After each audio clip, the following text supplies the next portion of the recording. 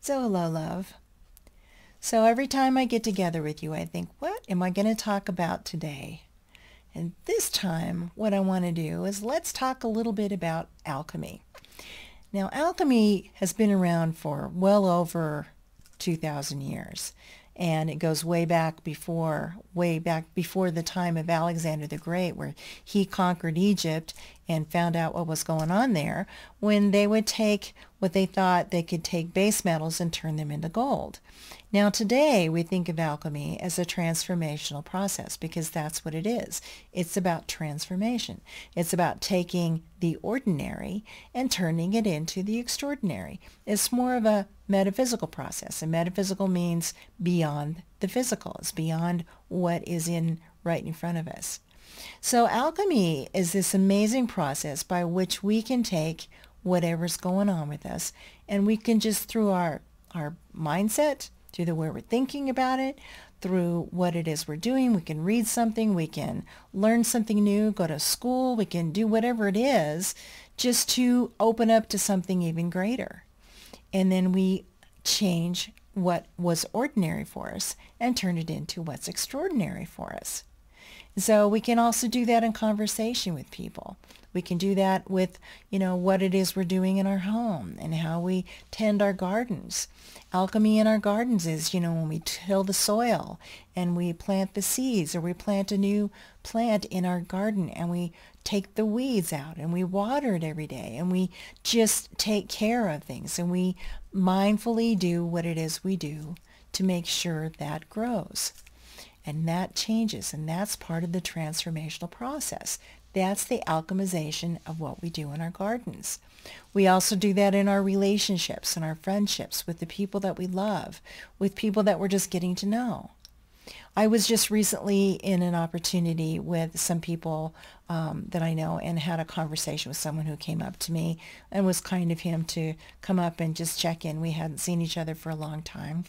And so I was asking him questions about what's going on with his life because that's what I do. I ask lots of questions because you just kind of, that's part, what, part of what you do. You kind of move from what's ordinary, a kind of a simple little conversation. You go deeper and deeper with questions. Tell me what's going on with you. How is everything going on with your work, with your family, with all the different things going on in your life. And he was telling me a lot is going on. He's had a lot of transitions, a lot of people who've left the planet uh, and others who are in the process of doing that.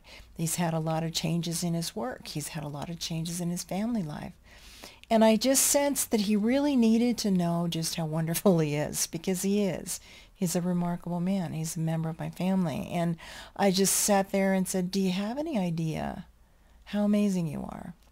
and what a good man you are and how hard you work and how you're seen for the things that you do because he doesn't feel like he's recognized a lot of times.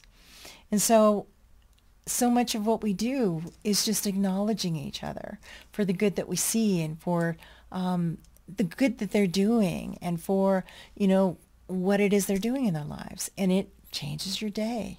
And he said, he got tears in his eyes and he said, oh my gosh, thank you so much for telling me that. And he gave me a big hug. And I didn't intend for that to happen. I just thought he needs to know how he matters and, and what it is he's doing in the world really makes a difference because it does. He makes he does a lot of things for an awful lot of people. And I'm hoping that he has an understanding of just how amazing he is. And so in that short conversation, it was really lovely. And the thing is, is when we have those kind of conversations with each other, it creates and it's, it strikes gold like it did with him. And it did with me too, because it was just like, I had no idea.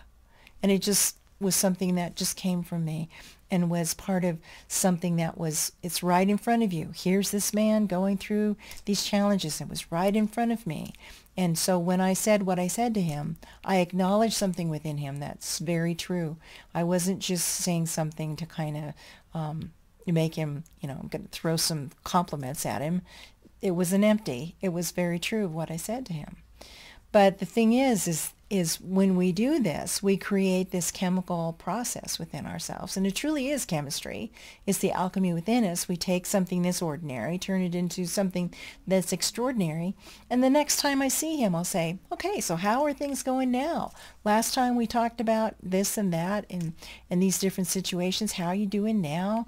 And we have a greater connection now than we did before. And so we have this great experience. That's what alchemy is. We are all alchemists. We can take the ordinary and turn it into extraordinary, whatever we do. It's like my husband today. He made alchemy, and he didn't even know that he did, but he brought me some flowers. Now, I've been a florist for 29 years, and when I used to work in a flower shop, I didn't even smell, literally didn't smell the flowers because I was so used to it. And no one ever gave me flowers because I was around flowers all the time. So when somebody gives me flowers now, I'm like, thank you. Thank you so much. That means so much to me. And every time he brings me flowers, he strikes gold. And so he struck gold today. And I was, it made my day. Really did. And when he sees this video, he'll go, huh. And that might just make his day because he made my day. That's how this stuff works we go about our days and doing what we do that seems ordinary and seems kind of like, you know, doing the same old thing. Or maybe you're in the doldrums where things just kind of are, are just steady and they don't really seem to change. But you can just change one thing and do something that's just out of the ordinary and make it gold. Make it glorious. Make it wonderful. Make it exciting. And just something little, some little thing you can do. You know, I have we have two cats, and uh, I pick up one of my cats sometimes, and and they both respond differently. One of them you don't really pick up; she doesn't really like that very much. But the other one, we pick her up and hold her all the time, and she loves it. The other one doesn't like to be held. She'll come and sit on your lap, and then that's golden. That's wonderful because I then get to spend time with her, and I hold her and I pet her and let her know how beautiful she is all kinds of things can happen from the alchemist of what you are. So as always, I have a painting for you. And I've been working on this for about three weeks. Started out as a little pencil drawing, which is like a three by three, four by four pencil drawing. And oftentimes what I intend, I mean, this is the basic image of what I had in the drawing. But what I intend to do usually turns out even better than the actual drawing itself. And so then I take it and I put it on a board. And a lot of what I do on the board, I, I, do by hand. So it's not perfect. A lot of the pieces in here, some are a little bit bigger than the others. And but I do it by hand because it's it's a pretty good size image. I take a 3 by 3 image and turn it into an 18 inch by 18 inch image. But the whole idea behind this was about the colors. And I'll just tell you another brief story.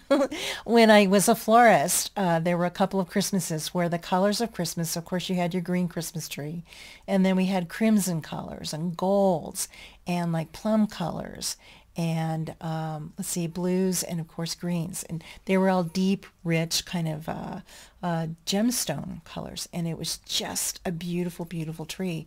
So I wanted to do a painting with these colors. And so I did. So I'll show you here.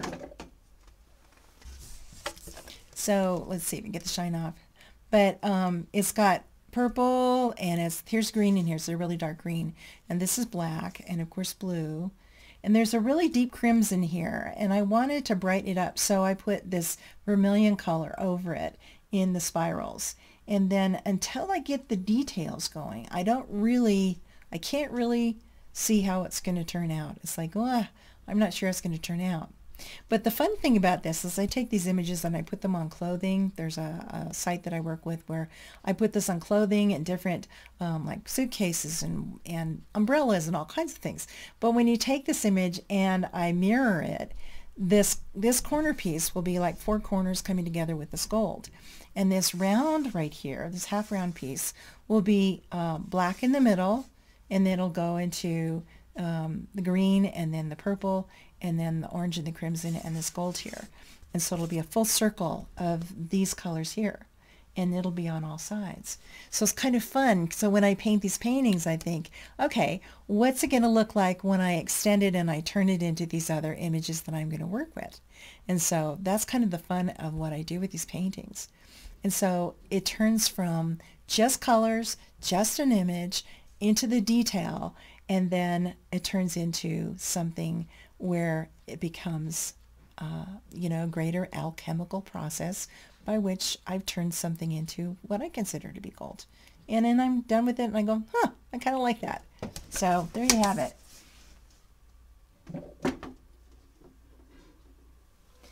So may you know just how amazing you are as an alchemist in this life.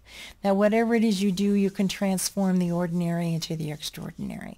That whatever it is you do, you can take just what's simple and turn it into something just glorious or maybe you even take something that's really greatly detailed and turn it into the simplicity of the beauty and the elegance and the grace of what it truly is deep inside.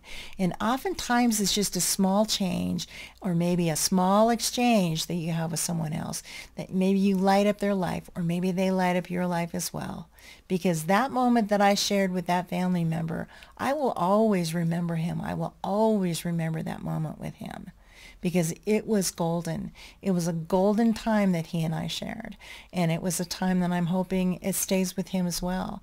And that's the thing that what we do when we come from the heart, we come from the love within us, that it is so glorious that comes from things that are not just beautiful, not just shared from a loving place, but there's a peace about it.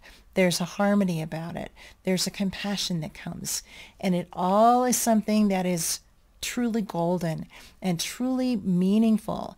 And it creates meaningful uh, remembrances of these experiences that we have with each other. This is pretty astounding and it's pretty simple and pretty uh, amazing because it's usually right in front of us. It's usually something that's just kind of seems kind of hidden and then all of a sudden something pops up as you have an exchange with someone else or an exchange with your animal or you're making something glorious for each other, just like when my husband brought me flowers today.